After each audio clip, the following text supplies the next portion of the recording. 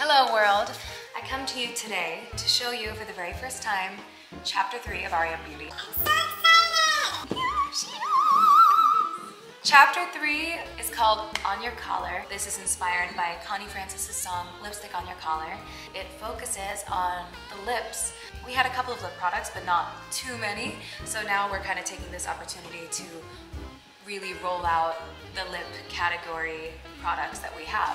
So first we have our Essential Drip Lip Oil, Pick and Petals, Lavender Kiss, Mint Condition, and Raspberry Drip.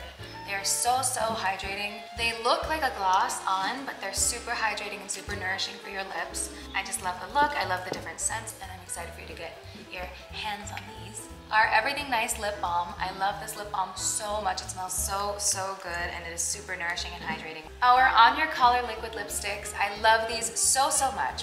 They come in nine shades, but I can't hold them all at once. They're super beautiful, super pigmented.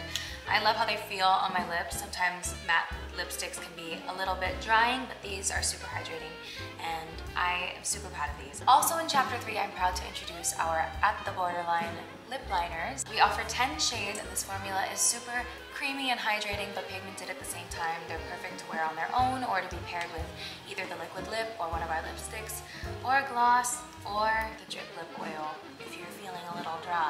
And last but not least, this is probably my favorite product from this new drop, our new version of the On Your Collar Classic Lipstick. They kind of are reminiscent of the chapter one lipsticks, the little astronaut helmets. There's like a slimmer bullet, as you can tell, for like more precise application.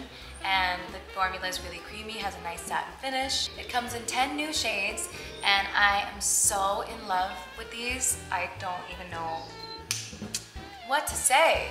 But I love these guys, and as you know, my favorite thing in the entire world is this little peekaboo astronaut situation.